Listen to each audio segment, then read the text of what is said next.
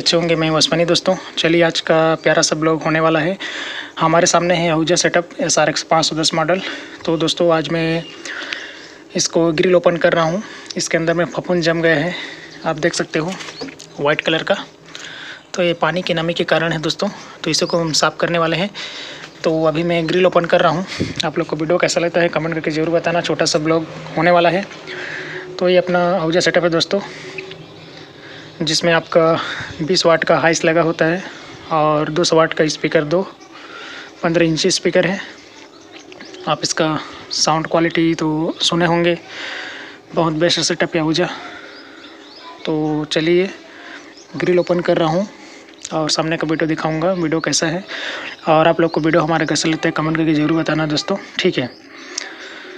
तो शुरू कर रहा हूँ मैं वीडियो और कमेंट करके ज़रूर बताना वीडियो आप लोग को कैसा लग रहा है। तो चलिए दोस्तों, सामने का वीडियो थोड़ी देर में दिखाऊँगा। अभी मैं इसको ओपन करने जा रहा हूँ, ठीक है? तो सामने का वीडियो थोड़ी देर में दिखाऊँगा आपको, जब मैं ग्रिल ओपन करूँगा तब।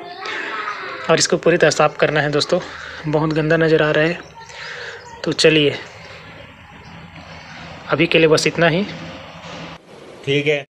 तो दोस्तों फाइनली मैंने ग्रिल को ओपन कर लिया है और पूरी तरह से सफ़ाई कर लिया। देख सकते हो इसमें बहुत सारा डस्ट था। एक तरह से कह सकते हैं कि इसमें फफूंद था जो कि पानी की नमी के कारण से होता है। तो दोस्तों, मैंने पूरी तरह साफ़ सफ़ाई कर लिया अंदर को देख सकते हो पूरा ग्रिल ओपन कर दिया है। तो इसमें ज़्यादा कुछ है नहीं वीडियो में। फ़िलहाल एक बात है दोस्तों कि आहूजा कंपनी जो जितना भी बॉडी बनाता है, उसमें बहुत सारा शिकायत था कि ये वाला जो बॉडी है, वो क्रैक बहुत ज़्यादा हो रहा है। फ़िलहाल अभी ग्राहक की पसंद को देखते हुए आहूजा कंपनी ने अभी प्लाई बोर्ड में शुरू कर दिया है। तो वो सब चीज़ हमें अच्छा लगा और ये रहा अपना ग्रिल दोस्तों, जो कि मैंने निकाला था। तो सोचा आप लोगों के लिए दिखाते चलूँ। तो ये ग्रिल है ऊपर का। तो मेरे ख्याल से जितने जो डीजे वाले भाई हैं, वो समझ सकते हैं वो सेटअप कैसा है।